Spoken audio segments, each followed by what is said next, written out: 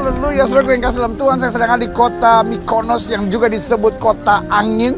Saya sedang ada persis di depan gereja Saint Nicholas Church.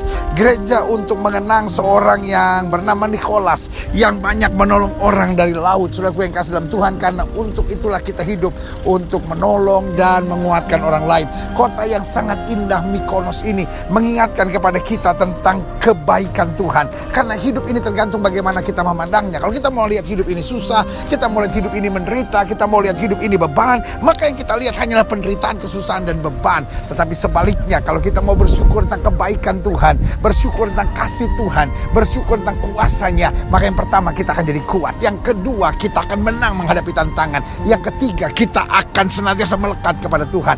Dan yang keempat, kita akan mengalahkan setan-setan dari Mikonos Yunani. Doa saya menyertai saudara. Haleluya.